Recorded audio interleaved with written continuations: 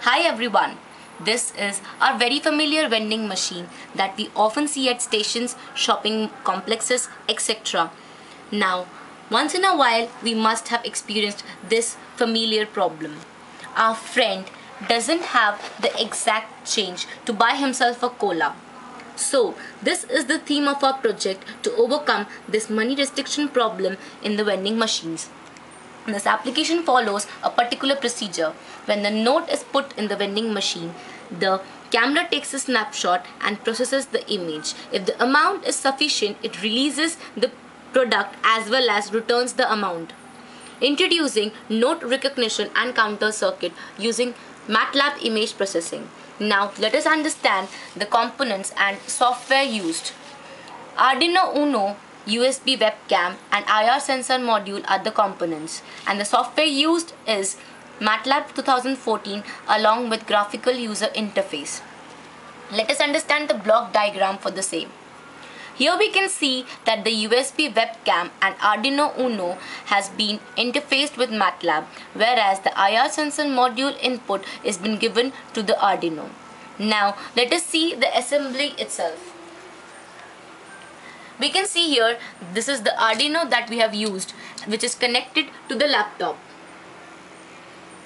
This is the USB webcam whose who, which is again connected to the laptop. At the bottom we have used an IR sensor module which is connected to the Arduino. And this is the LED bulb. Now let us understand how does the assembly work when the user puts the money in the assembly, the camera takes a snapshot. Now, every snapshot is being compared with every database image. After recognition, MATLAB executes the program for that particular amount. Using GUI as a displaying in uh, displaying platform it displays the amount entered and the amount to be returned now let us understand the programming logic for the same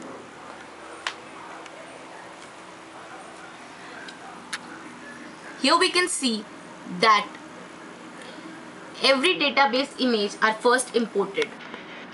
Then every RGB images of the database are converted to grayscale for precision. Now, when the user puts the money in the assembly, the camera takes a snapshot and converts the snapshot into grayscale. Now, we calculate the size of the grayscale snapshot, that is the number of rows and number of columns. After this, every database image is being compared with every snapshot image and also we calculate the number of pixels having equal value for every comparison. Now this gives the database having highest number of equal pixels and hence the recogni we recognize the note. Now MATLAB executes the program and displays the amount to be returned. Now we understand this with the help of an example. Here we have used a 100 rupee note. And we have considered the product value to be rupees 10 hence the money to be returned will be 90 this is our MATLAB program. Now we run the program.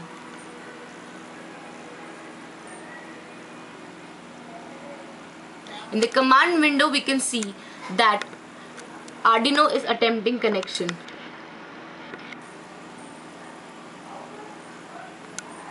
Arduino has been successfully connected.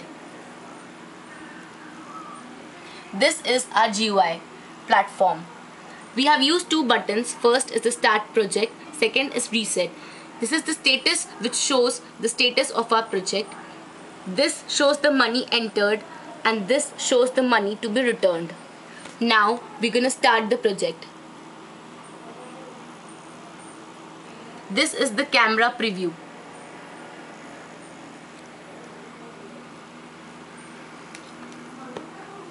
Here we can see the project has been started and hence completed. This is the final image.